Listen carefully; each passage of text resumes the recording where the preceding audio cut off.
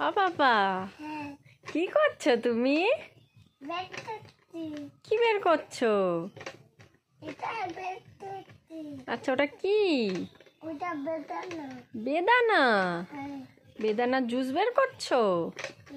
তা ওইভাবে তো বেরোয় না পাপা জুস? না ওটা বের করো বেদানাটা বের করো।